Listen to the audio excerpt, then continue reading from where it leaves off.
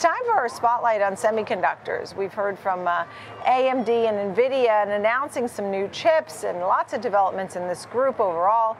Caleb Silver's with us, editor in chief at Investopedia. Caleb, good morning to you. You're watching this news on NVIDIA. So many folks have uh, investments in NVIDIA. They want to hear more about this. Yeah, big week for NVIDIA. That big stock split coming up on June 6th, that 10 for 1. That's going on. But not to steal any of its thunder, big announcements at the Computex Tech Conference in Taipei. NVIDIA launching the Rubin AI chipset on Sunday. That is going to replace eventually its older Blackwell chipset, but also AMD revealing a couple of new chipsets for both desktops and laptops. The AMD CEO Lisa Su saying AI is their number one priority, Nicole. Whose isn't AI the number one priority these days? That's where the money's at. So AMD going to battle against NVIDIA, against Intel in the chipset war for AI desktops, PCs, and servers. And when you talk about that that uh, move to the newer chip and uh, Blackwell, you know that that transition has been pretty smooth from what I understand, and people are very happy with that. But it also brings demand for the newest chips. People want the newest ones, right? Yeah, and AMD and NVIDIA have pledged that they will develop a new chip, release a new chip every year. NVIDIA used to have a two year cycle for new chip releases, especially around AI, but then they realized how hot demand was. So now the CEO, Jensen Huang, saying they're going to release a new chipset every single year. AMD trying to match that. Intel, we know, is coming out eventually with Lunar Lake. Qualcomm Snapdragon is out there. There is a lot of competition for AI data uh, chipsets right now for the semiconductors, but they're aiming them all over the market. So you have the desktops uh, for uh, the 9000, the Ryzen 9000 for AMD also announced this week, this weekend in Taipei. But you also have a uh, NVIDIA targeting that sector as well. But then it's the servers, right? It's the data centers. That's where the real money is. So you've seen NVIDIA launch a couple of products aimed at that center as well. Yeah, overall, um, when you talk about the AI chip kingdom, um, and who, which companies dominate. And you know, as they jockey for position, I mean, obviously Nvidia has been a leader, the leader. Where do we stand? What do you watch there?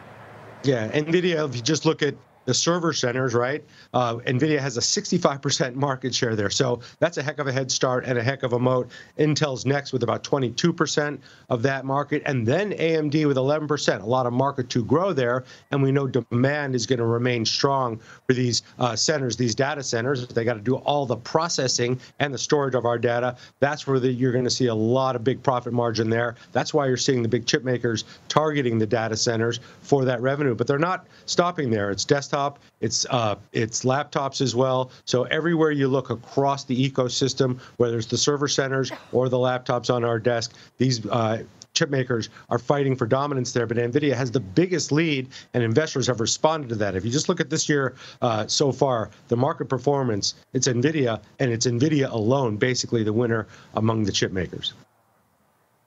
I wanted to um, bring up two headlines. One is about Qualcomm promising new chips that will power unprecedented battery life. That's from today. I think a lot of people have had Qualcomm on their radar in the world of chips. But I'll go back to last week. AMD, uh, Taiwan Semi, Broadcom, and other chip stocks hit by Biden's fresh AI chip export restrictions. This has been an ongoing story.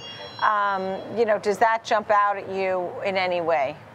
I think it's more a symbol than it is a real policy that's going to affect sales here because this does protect lot, the U.S. chip makers in a lot of ways. What he's trying to protect against is imports coming from other countries into our market. He wants to protect that. You've seen massive multi-billion dollar investments led by the Biden administration to create new chip manufacturing facilities throughout the country right now. A lot of those, again, symbolic, but they are real. They do take about 10 years to build, but he's very serious about protecting the dominance of chip makers here in the U.S. So we know that is happening right now. And But you got to remember where a lot of these chips are made. NVIDIA and AMD, for as prominent as they are, they don't make their own chips. Taiwan Semiconductor makes these chips, and they are based, of course, in Taiwan, one of the biggest companies in the world. They're pretty much sitting in the catbird seat in, catbird seat in terms of manufacturing, but in terms of market share and the moat around these AI markets, which are so important to these companies. NVIDIA has a big, dominant lead. We know Qualcomm Snapdragon is there,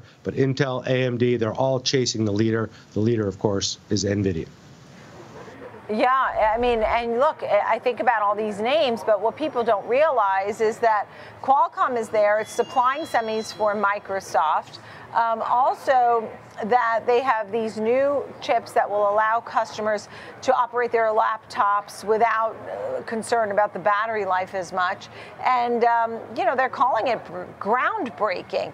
I'm not sure anybody sort of had Qualcomm on the list, or did they? Well, they're the OG chip maker, so they should have them on their list. And yes, the battery life is important because what does AI do? The processing, it eats up a lot of battery power. It eats up a lot of battery power. That's why we need more server centers. That's why you see utilities getting this extra life too, because we're going to need a lot more utilities to power these data centers. But Qualcomm has been there all along, and the battery life is an issue. But in terms of the chips that actually help with the processes that AI is supposed to enable, well, you have these other leaders right now that have been taking advantage of the fact that a lot of these other players were slower to market. They're all chasing NVIDIA. That'll probably be the case for the next few years. Yeah, and look, this is Taiwan's AI Tech Fest. Um, so we'll continue to listen up for any any um, news from that, but they all had to come. It was a big deal, from what I understand, for all of these companies. But this is how Qualcomm, at least, um, and others, they're trying to battle Intel, from what I understand, to reduce the PC sector's reliance on Intel. Um, we recently had on Dan Ives, and we were talking about the $4 trillion market cap, and he was talking about NVIDIA, Microsoft, Apple, like which one will be the first one to get there. But anyway, final thoughts here on this group overall that just doesn't quit.